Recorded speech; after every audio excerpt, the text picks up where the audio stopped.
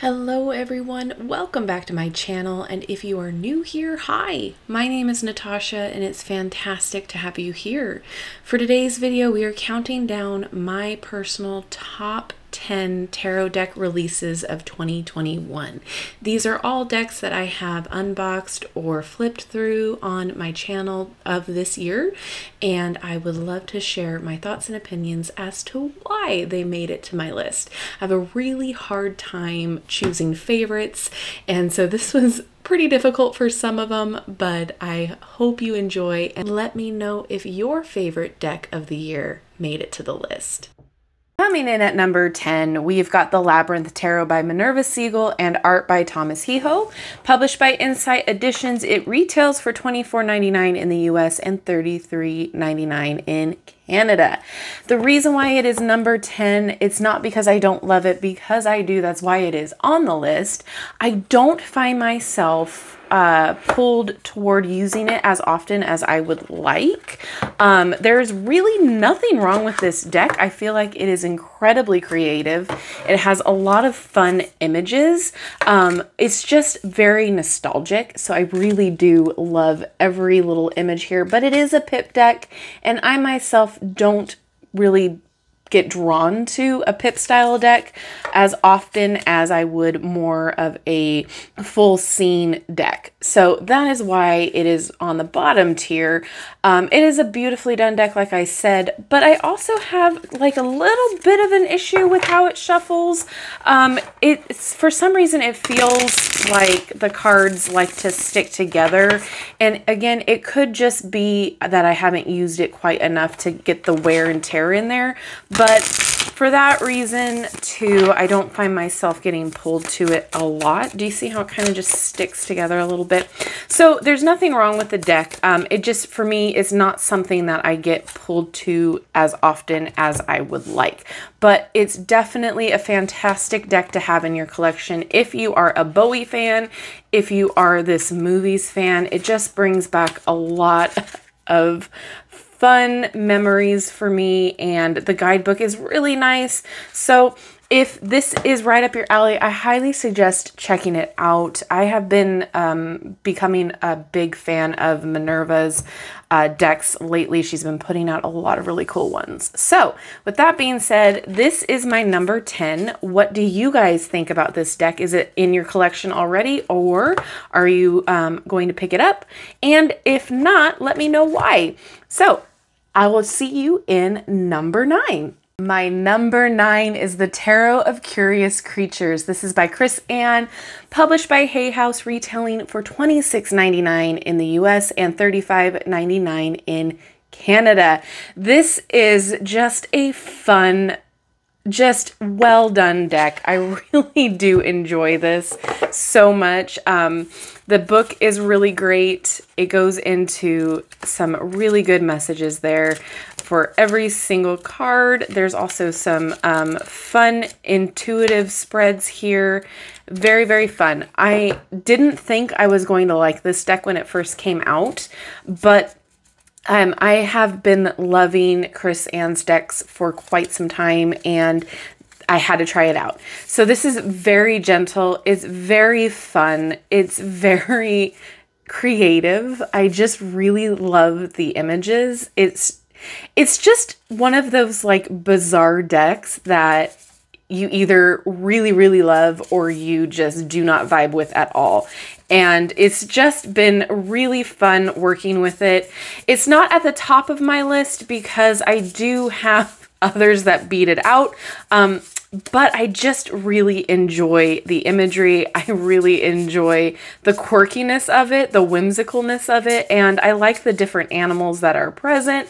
And I also like that there's two different Fool cards. I thought that was really fun because, you know, the um, major arcana goes in cycles and so this is you starting out and then this is after you start your cycle or finish your cycle and go through it again if that makes sense. So it's really fun. It's a great price point for what it is and it shuffles really nice. Let me show you that real fast It's just really um, a great size. It's beautifully done with the artwork, but it is one that, like I said, is kind of a niche deck where uh, you either love it or you just don't like it at all. So let me know if this is one that you have purchased, if this is in your collection, or if this has made your top tarot decks for this year down in the comments section below. Coming in at number eight, we have the Mystical Medleys, a vintage cartoon tarot. This is by Gary Hall and it is published by Liminal 11. It retails for $26.95 in the US and $40.50 in Canada. The reason it is on the lower end of my list here is only because I've had this for just like a week now. So I haven't really been working with it as much as I have the other decks, but I was just so drawn to this deck from the beginning. I love its quirkiness. I love that it's based on the rubber hose animation. I love the packaging. I mean, it's just so fun. So I, I had to include it. it's just well written as well. It's not too in depth, but it's just enough to get you started. I feel like this is more of a deck for again like a specific niche group of people who really love the style of animation slash cartoons. Um, as well as this deck feels a little sarcastic at times too. It's very fun and different and unique and i really do enjoy reading with it when i have. It does have two extra cards. It has a happy squirrel and a sad squirrel which i feel like you can kind of use them for indicators of whatever you want. But like the just different quirkiness of this is just so much fun. It shuffles great. I mean, it reminds me of a lot of different characters over the years of cartoons. It's just really, really fun. It shuffles nice too. Uh, the cardstock is really great. It doesn't um, feel too stiff to where you can't shuffle it or have difficulty shuffling it. It's just very, very smooth, very nice, and fun. So I really have been enjoying the messages I've been getting. I love just the audacity of this deck. It's just really fun. The cards don't feel intimidating. It does feel sort of on the line of gentle, but like tell it like it is. So that is why this is my number eight. Do you own this deck or is it something that you're excited to pick up? Let me know. All right, for number seven, we have MJ Cullinane's for Haxa Tarot. Um, it's lower on my list only because there are so many others that beat it out, but I absolutely love this deck. It is gorgeous. I believe it retails for $40. And again, it's a little bit lower on my list too because with her decks that aren't manufactured mainstream, they take time for her to do like another round of decks too. So if you miss out on the first edition, you have to wait until the second or etc editions come out. So that's why it's a little bit lower too. Um, but regardless, this is just beautiful. It's like very, very gentle, but also it is very um, poignant. And the guidebook is beautiful. It's just, oh, I just love it. Um, it does have weight to it when you read with it. So it does do the job of being a gentle deck, but it has that backup of that weight of the message behind it as well. So, um, very meaningful uh, interpretations uh, throughout this deck. It's just beautifully done, beautifully um, rendered. I just, I there's something about this art style that my heart just longs for it. You know, it's very fantastical but gentle, nurturing feeling. A lot of feminine energy in this deck. Uh, it doesn't feel scary, intimidating, or anything like that, and it shuffles beautifully. Um, it is a larger, more oracle sized deck. And I mean, look at that back. Oh, it's just so well done. It's beautiful. It's a different style of deck from her. And I've been enjoying reading with it. Um, it definitely tells it like it is, tells you what you need to know, but like with that hint of nurturing behind it. Like, yeah, sometimes your days might be a little difficult, but here's what you can focus on instead. Um, here's what you need to know. And I don't believe there's any reversals uh, reverse meanings in this deck. No. Um, but it's just really well done. I enjoy it, but it's lower on my list simply because it's a little bit more of an expensive deck and it's going to be a little bit harder to purchase. That is all.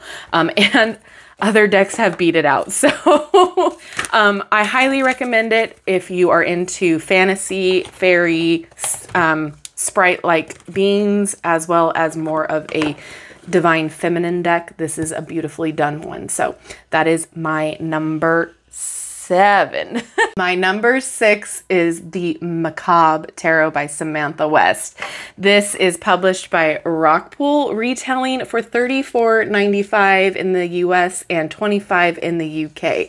This deck I thought was going to be a gimmick. I thought I wasn't going to like it, but oh my gosh what a fun deck. It is ridiculously quirky as far as the packaging goes because if you have not seen this video,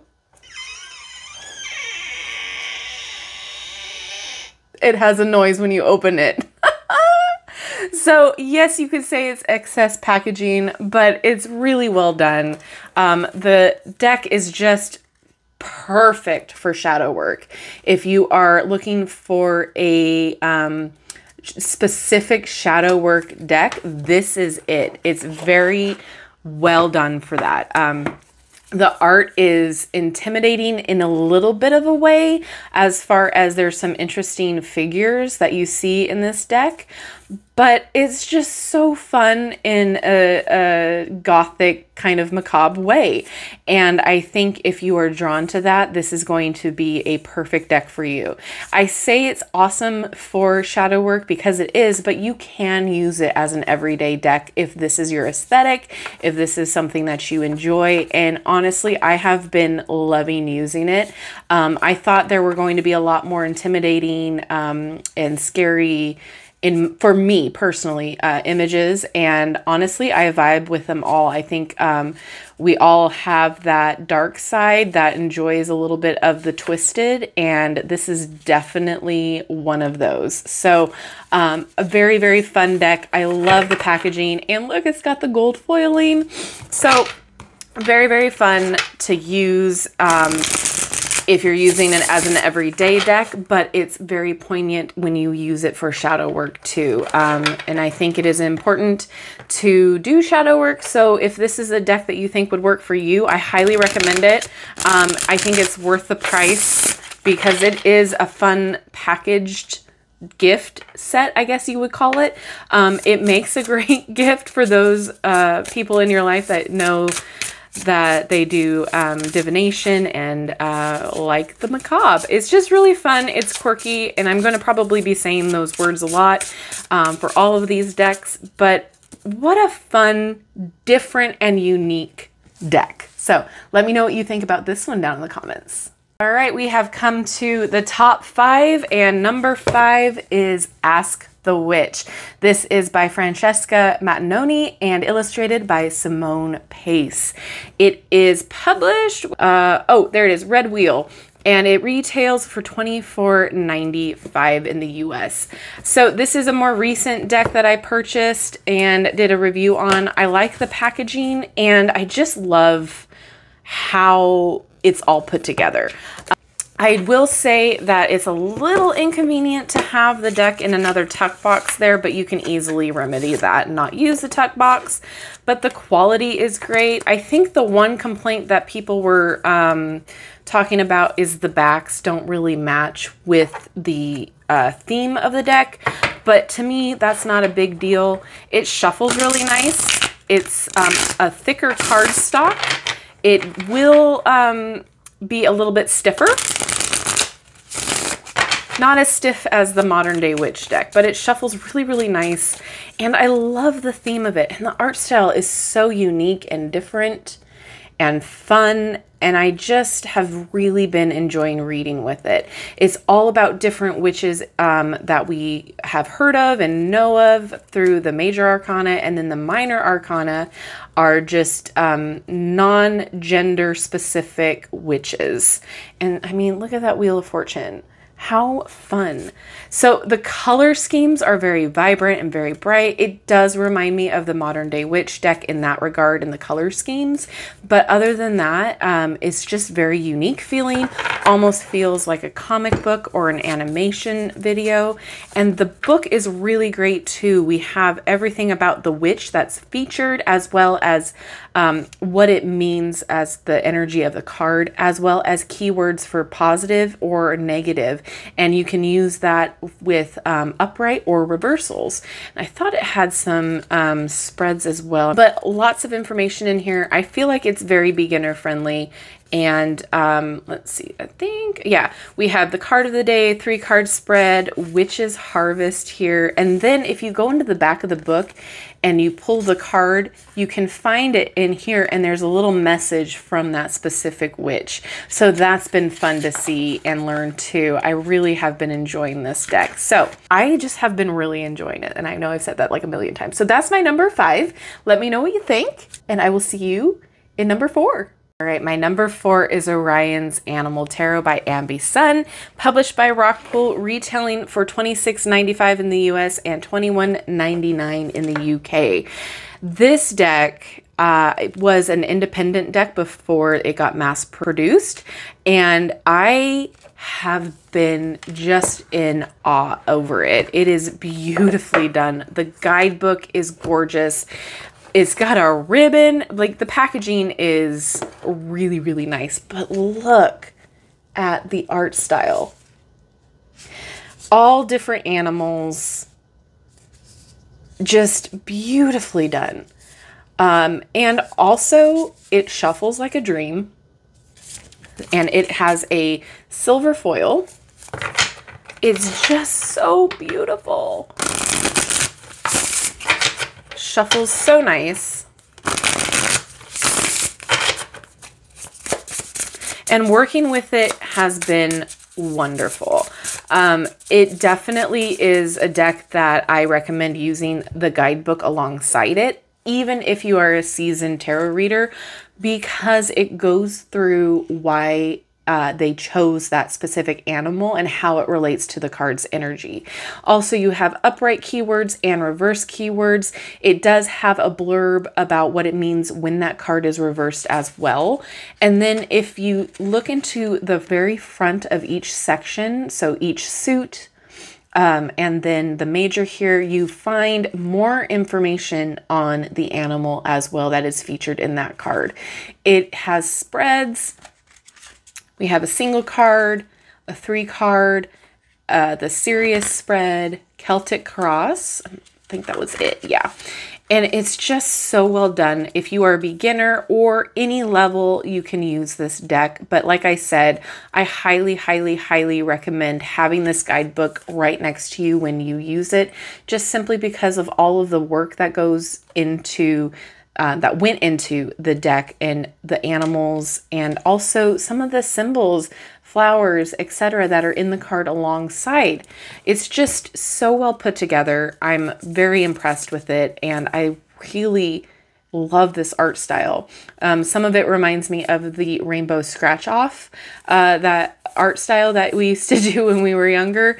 Um, i don't know if you guys know what i'm talking about but um, it's just so well done. And with my love of the animal decks, this is right up my alley. So, um, if you are looking for a new animal deck, if you are looking for just a unique looking deck, I highly recommend this one. It is a great great price point for what you're getting.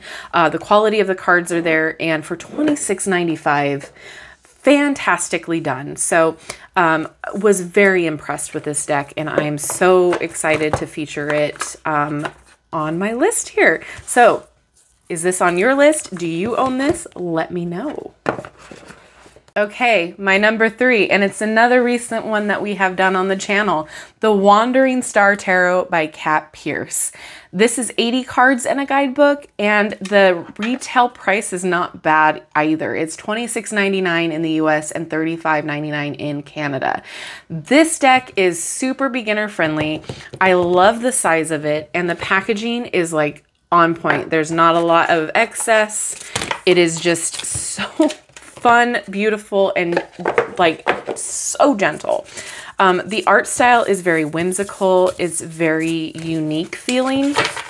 The backs are beautifully done. But what's great about this too is that if you are a beginner, it's fantastic to help you learn the tarot.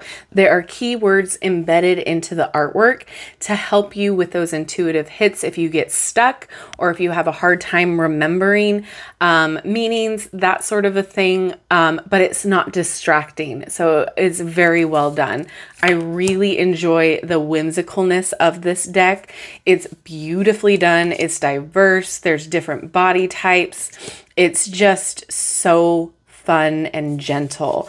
Um, I, even the more intimidating cards are gentle as well. So let me see if I can find, um, you know, just so well done. I, I it took me so long to get my hands on this deck uh, because I feel like it's just been so popular with everyone, and I can see why. I mean, it's just beautiful. And let's see. So here's the Ten of Swords, which I rolled over with my chair. Um, so it's not it's not super intimidating. It's just it feels very um, nostalgic. It feels like um, it's a deck that I may have had years ago, you know. It feels like almost like home to me. I feel very comfortable using it. And um, I'm just so sad that I didn't have this earlier. But like I said, could not get my hands on it anywhere. So I can see why. Um, but it shuffles so nice too. The cardstock is really nice. I mean, it is Hay House cardstock, so keep that in mind. It's a little bit thicker than um, uh, normal Oracle cards that they have there. Um, and there's also two different cards added in here that um, have a yes and a no. So you can use it that way too, or you can use it with the meanings that is in the book. Um, I highly recommend you check out my unboxing video because I go in depth with all of that as well. And the guidebook has a lot of great information too.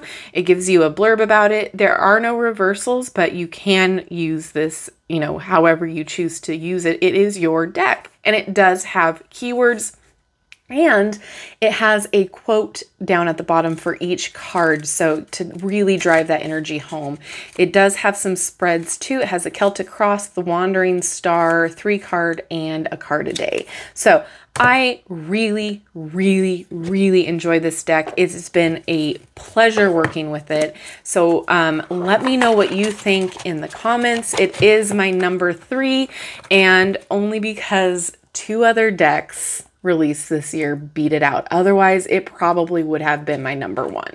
My number two, The Good Karma Tarot, a beginner's guide to reading the cards by Kerry Ward. This is published by O and it retails for $24.95 in the US and $19.99 in the UK. Illustrated by Amy Blackwell. This deck hits different. It is so gentle. The book is fantastic for beginners. It is big, it is bold, it is color. Um, there's a bunch of information and um, how to work with this deck. And honestly, so many spreads. It's just beautifully done. I'm really impressed with it. My only complaint is this dang packaging, but I can understand why because you have to fit this beautiful deck or beautiful book in it. But I my one of my biggest pet peeves when it comes to deck packaging is a split uh split deck packaging. Um strictly because I you know what honestly there is no real big reason why it's a pet peeve. It's just a pet peeve. But here's the back. It's a gloss. It's a nice size. Um it's very well put together. Shuffles beautifully. And I love the art style. And like I said before it's a very gentle deck. It reads so well for beginners. Whatever level you are at this deck is stunning. So inclusive and you know, it just fits the energy of all of the the cards wonderfully. I just have had the best time reading with this deck. And literally that is my only complaint is the dang packaging. Everything else I'm here for. Like look at this devil card. It is not even that scary. Um, I mean, technically, yeah, you can say that's a little intimidating, but you get what's going on with the energy. Um, all of these are very self-explanatory when it comes to the images. However, um, the if you are unsure about what's going on in the cards, the book is fantastic. So if you are starting out, I love this for a beginner deck. I feel like all of the minor cards are very well done. And I just love that like it's super inclusive. It's so it I just love it. Different body sizes, like I said, different hair colors, different skin colors. I mean, look at that death card. It is so beautiful. And we've got handsome men, just fantastically done. I'm over the moon with this. It has been one of my go-to decks for a while now. I love this one so much. It's just filled with wonderfully represented um, artwork and I just absolutely adore it. One of my favorites of all time. Um, it's been a great deck to work with throughout this year and um, all ages for this deck. It's just so, oh, well done. Like I said, the only complaint an issue I have is the packaging. And if that's the only complaint, we're doing fantastic. So by now, I'm probably sure that you guys know what my number one pick is. Um, but it's, it, so yeah, it's probably not going to be a surprise, but I'm going to show it to you and just gush all over again. So see you in number one. It has come to the number one tarot deck favorite release of 2021 you know, you know it had to be this one. this is the Disney Villains Tarot deck by Minerva Siegel. And it is illustrated by Ellie Goldwine. It retails for $24.99 in the US and $33.99 in Canada, published by Insight Editions. Now, listen, I am a Disney adult. I fully admit it. I love this deck so much. And it's not only because it's a Disney deck, because let's be real, if it were any other Disney character, I would still love it. It's so well done. The packaging is beautiful. The guidebook is great. It has a ribbon, which I didn't use, um, but it's just beautifully done. There are villains in here that I didn't think that she was going to include, and I'm so happy she did. Uh, hashtag Joanna is a queen. this guidebook is fun. It's got upright meanings, reverse meanings. It tells you about the uh, character in the deck, and it's just so Oh, I just love it. There are also some spreads. Let me see if I can find it. Oh, they're in the back. That's right. Um, we've got, which have been fun to do. I've been using the spreads um, for my own personal use, and it's been really interesting and fun. The poison apple spread. We've got the diamond in the rough spread and then Ursula's Cauldron spread. This one was interesting. Um, and then let's just talk about the cards real fast. The cardstock is fantastic as far as flexible. It's been holding up really well considering I've been using this like so much. I love the back. It's not gaudy. Um, sometimes when uh, we're talking about like a specific well-known um, theme or character or anything like that, sometimes it can be overdone in the background or the art. It is not in this deck. Look at Madame Mim. I mean, really, we've got, oh, wow, they're right by each other. Um, her transformation one. Um, we've got all the greats here. And it's not just a pip deck, which Minerva has had um, in the past with her other uh, big decks.